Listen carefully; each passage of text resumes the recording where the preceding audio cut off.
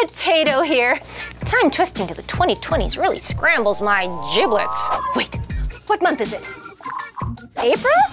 We're just in time for Earth Month, Mel. Oh, my favorite time of year. If you haven't heard about it, here's a quick intro to Earth Month from someone who really digs it.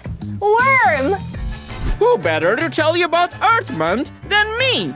an earthworm. So, what is Earth Month? Well, it's a global movement to make the world a better place. Every April, scientists, world leaders, and planet protectors like us share ideas on improving the environment all month long. We talk about climate change, protecting natural resources, and how to make the world even more sustainable. Last year, I went more green with renewable energy and reduced my carbon footprint in half. And I don't even have feet. In fact, Earth Month is celebrated by more than a billion people in over 190 countries. I know because I counted them. So in April, join in on celebrating a greener planet by participating in Earth Month. I'm certainly gonna do my part, starting with some composting for a better future. Yum! Back to you, Potato.